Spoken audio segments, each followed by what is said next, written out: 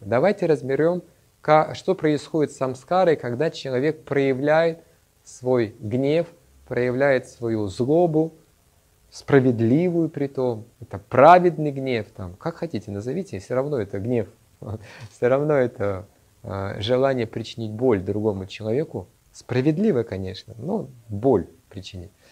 А, но что происходит с самскарой? Какие последствия такого вот действия? Да последствия два. Первое, из-за того, что человек проявил вот эту вот агрессию, проявил это разрушение, он наверняка это сделал больше, чем они заслуживают, потому что гнев плохой советчик. Он всегда делает хуже, потому что он не думает о справедливости, он думает только о том, чтобы сделать человеку больно. Вот. И поэтому, когда человек а, не следует этому совету, да, вот эта боль причиняет окружающим, первая проблема – Первая проблема. Он совершил боль над другими людьми, придут кармические реакции. И не какой-то в следующей жизни.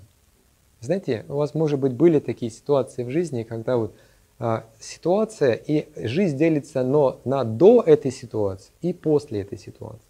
Вот секунду назад была одна жизнь, а вот сейчас она становится другой. И потом уже не вернешь это. Человек жалеет об этом.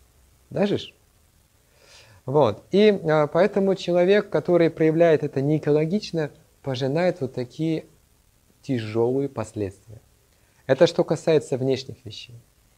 А, и что касается внутренних вещей, что происходит с самскарой, когда человек ее проявляет, вот эту негативную самскару.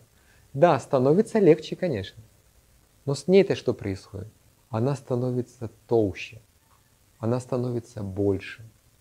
Это обида, этот гнев а, увеличивается. Ну, то есть человек, пример, чтобы было понятно, как развиваются дурные привычки, да? Человек выпил водки, ему полегчало. Все, напился, больше не хочется. А завтра? А завтра еще надо. Никуда не делось, только жажда стала больше. Так возникает зависимость.